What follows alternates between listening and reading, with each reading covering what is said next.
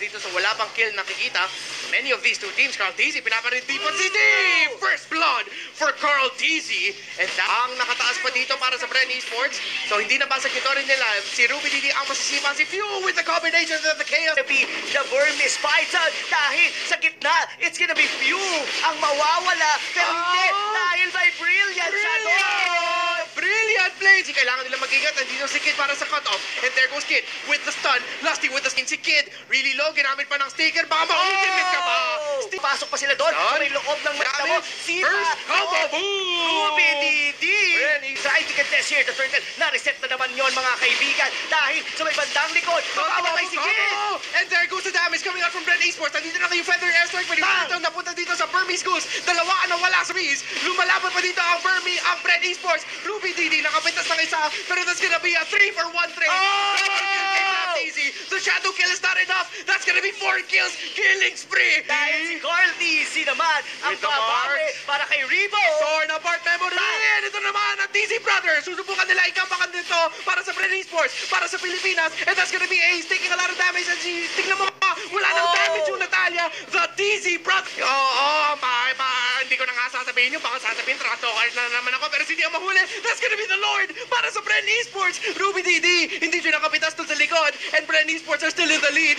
This all or nothing lineup ng Burmese Goose ay hindi pa gumagana. Hindi na gumagana. Maybe and Kid ang naiwan na si Dizzy, pero hindi niya alam na nandito sa ilalim din dito si Pew at ang nawala pa dito, Ooh, masakit. ang Natalia. Oh, Oh. but maybe, maybe not this time mabuhay. Shadow Clone. Dito pa rin sa likod. Pick up with Lasty. And the Wabo Combo. Nandito na si Ribo. Sige, hinintay at hinanap si Kanti, si Silence of the Lasty, mapipitas yung tangke natin. Pero si Ribo, si Flap, si Pew, si Carl, sapat na yan. Si Pew, talaga magsisneaker ka pa sa mukha ko? O yan, yun, 35 seconds na wala ka. And that's gonna be a mega kill for Ace. Mega kill for Pew actually. And si Ruby TV naman ang next in target dito para sa Bren Esports. Yung Dragon na lumilipad, the sustain by Ribo, the magic damage by Bren Esports, the damage by Bren kumakapit pa dito si Dito, si Ruby Double D. Pero ito naman si Maybe, the sustain is crazy. And Flap TZ with the feather airstrike coming in from Dina. Pabalik na siya. Pero si Carl TZ pumasok. The TZ brothers, the fit batong. No! They got one kill. The TZ brothers. The Cornets gonna be a kill for Flap TZ. Sila siya nga yung dapat ma-fake off ng Burmese Ghost. Pero buhay pa siya dito. Hindi natakbuhan niya dito. And the Electo, final blow. Nakatakas pa si Flap. And si Ruby DD makakakain ng damage. Godlike for Carl TZ. At Bren Esports are Talaga, pero ito ah, kahit na sabi mo kanina, Oh. hindi pa level for si Maybe, kaya nasipa siya ni Lasty. And first, uh, mahinto dito. Carl TZ nag-charge up ng damage. Maybe nag-zone out. Meron na yung ano ah. Meron na yung uh, fatal links. ah, ginamit niya para kay Fla- Flat TZ. Pero isa lang ang nahuli niya. Si Lasty nandun sa likod. Si Ruby D naman ang mahuhuli dito. Ruby Double D ang nahuli. And he goes down. Three kills para sa Bren Esports. Maybe pa nga. Double kill para kay Ribo. Si D nag-dragon form. Pero hipon pa. Yung dragon niya. Lumilipad pero walang magawa. Hindi ka na nga maabis ang araw dito ni Ace. At si Few lumalaban. Si Ace yung aso. Boom! The members of Burmese School. So ngayon, oh, tingnan mo na yan. Ganda ng lasty. Ang ganda ng lasty. Oh, okay, makombo ka. Kahit ano, oh, first down, ano, wala. Wala magawa. Maybe doon. Kahit ako sila double kill dito para kay, Tri- kay Carl Tizzy. And a kill for Flap Tizzy. Pare. So paano nagpaano to? Pero nabura kagad yun yung veil. At nasustain din dito ng mga members ngayon ng Brand Esports. And Ace, dahil nandun na siya in an awkward position, nag-like hand bounce na siya doon umama. Doon kay Ruby DD, bawas na naman ng isang miyembro dito, ang Burmese School. They see me rolling. They hating. Nawawala na dito ang Burmese Schools. Double kill kay Carl Tizzy. Ganun lang. Nasty, the flicker, the kick, the punch, the combo, the knockup, and the kill.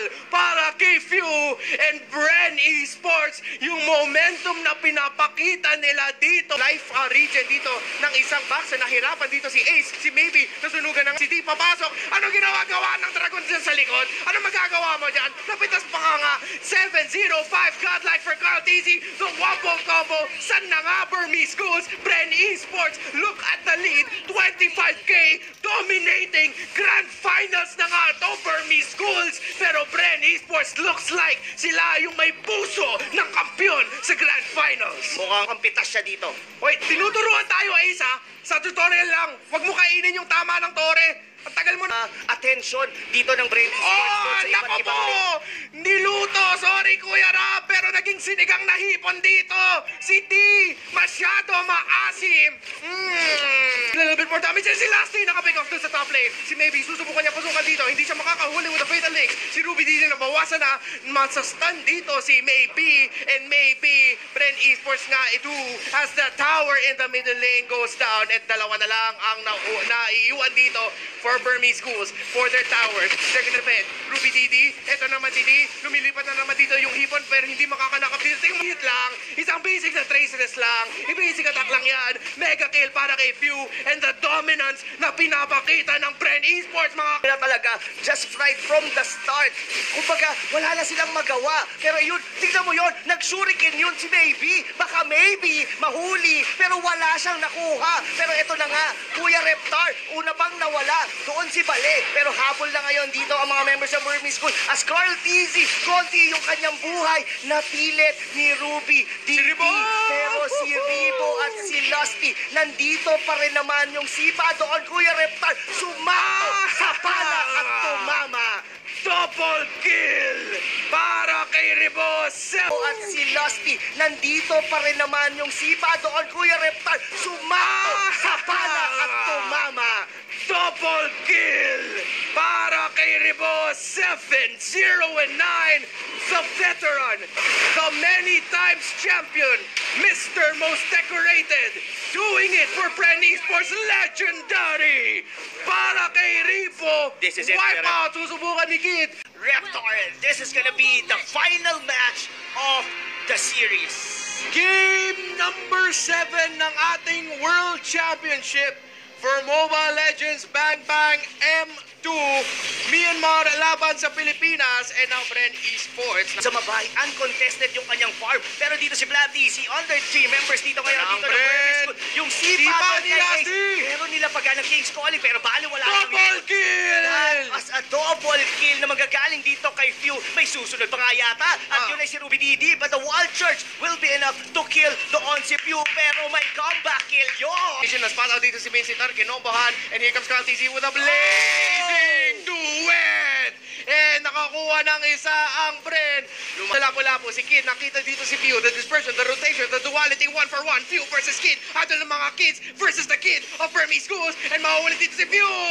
The rotation by Ruby DD, at nakatakas pa nga dito si Kid with a power forward brilliance, pero shutdown naman para kay Flap TZ. Naka Tribo yun. Pero ah, si Carl TC rito, mga kaibigan, still Oh! got the form as Kid is about to go down dahil si Ruby Didi medyo na late ng konti. Si Carl T. At the wild charge, hindi na-interrupt si Carl TC.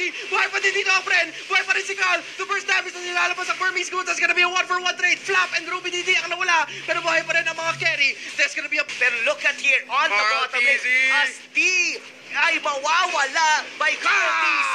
Sama pa pa si Flat TC dahil dito si Few sinuzone out yung dalawang members ngayon ng Burmese School. Nakakot dito ni Flap TZ para sa Brenny Sports Lusty. With the cake, Flap TZ na wala. Si Carl TZ ang naking dito. But the blazing duet is there. Papasok si Carl TZ with the PMI. And si Ken ang mahuhuli ni Carl. Bumalik si Carl. Ito si Ruby Didi. Mahuli si Ruby Didi. Dalawa ang nawala sa Burmese Schools. Double kill para kay Carl TZ. Ang galing, hindi pa sila. Pero si Carl, hinahabol si Ruby Didi. He smells blood. He smells a kill. Tingnan mo naman, nasusunod dito. Thumbs up! Galing kay Carl TZ. Buhay pa naman dito ang Bren. Mega kill for Carl. And lamang na ang Bren Esports dito para sa turtle fight. Pero Lord fight, pero si Lasty ang nahuli na King's Calling. Nakagamit sila ng ultimate pero Bren Esports fell blood. Blazing duet. Yan tsaka yung Zaman Force. Unstoppable. Lord, dahil yung diversion ginamit na doon sa may bandang gitna dahil potentially na pwede na rin nilang makuha yung base turret dito sa may bandang gitna dahil dito si Kuya Ribo gumamit na ng Zaman Force with a chrono dash. Ano ngayon? Pumipili pa kayo ng Minsita pero wala lang namang nagagawa yon dahil pumapalag-palag na ngayon dito ang mga miyembro East. Carl TZ blazing the wet diretso sa likod. Nahuli to si Kid. Monster kill for Carl TZ at Brad Esports. It's looking real. Kinukuha nila yung mga tore dito. Bottom tower. Ano wala na para sa Burmese Goose. Ultimate sa nakabita. Si Pio ano po first stand. Si D sa likod. Pero ito si Ribo. Si Kuya Moribo with the Zaman Force. Few Lusty and Carl TZ sa likod. That's gonna be a 2 for 1 trade. God like Carl TZ. Yung big duel. double kill, BMI, eto na ata, Pilipinas, Brand Esports, ang inyong